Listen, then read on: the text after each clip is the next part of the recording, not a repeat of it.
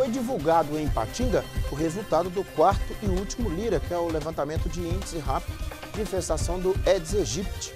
O recolhimento de dados foi feito entre os dias 7 e 11 e apontou aumento significativo nos casos em comparação com os meses anteriores, né, quando os números se apresentavam em queda. A reportagem está aqui, vamos ver.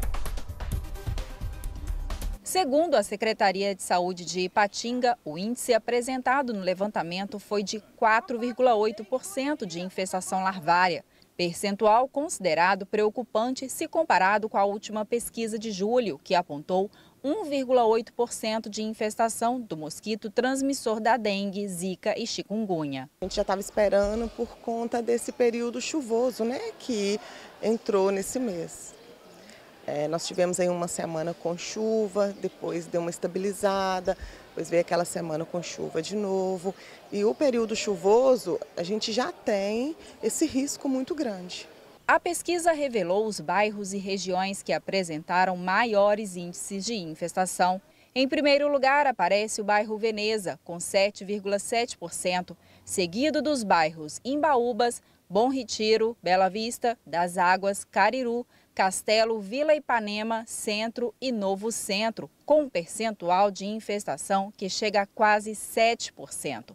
Os bairros Iguaçu e Cidade Nobre foram os que apresentaram resultados menos preocupantes, com quase 1% de infestação. Segundo a Secretaria de Saúde, as condições climáticas favorecem um percentual mais elevado. Nós temos uma preocupação muito grande, por isso que nós estamos nesse pós-lira, né?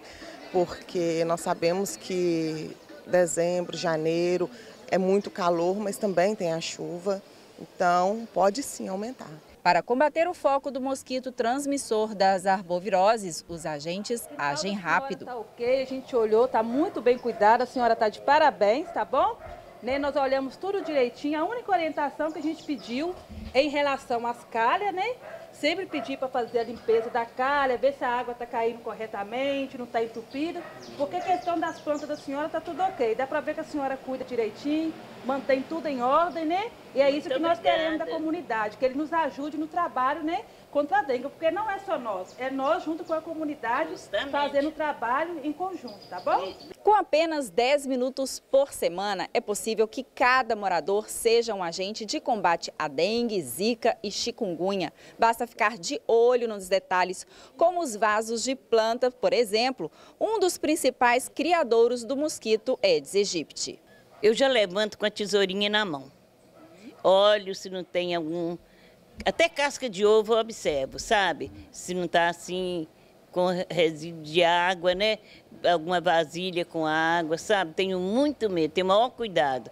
E faço questão também de pedir os vizinhos, né? Que olhem os dele também, que não adianta só eu olhar e os que estão aqui em volta, em torno da gente, não olhar, não é, filho? Igual tem aquele lote vago ali, que eu tenho muito medo de ter foco, sabe? São poucos minutinhos na semana, dá para cuidar, né? Não, e muito. Isso aí, com certeza, basta a pessoa querer, né, filha? Se tiver vontade, dá tudo certo. Segundo o Ministério da Saúde, os índices de infestação inferiores a 1% são os mais satisfatórios. O próximo levantamento em Ipatinga deverá ser feito em janeiro de 2023.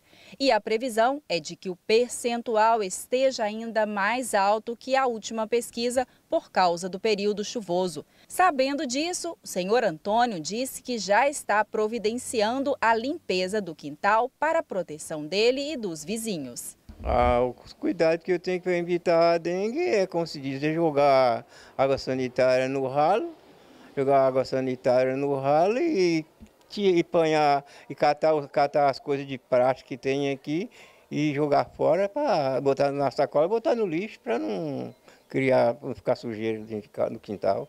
O senhor acha importante fazer isso para evitar as doenças? É importante, aí a gente tá, cuida da gente e do próximo.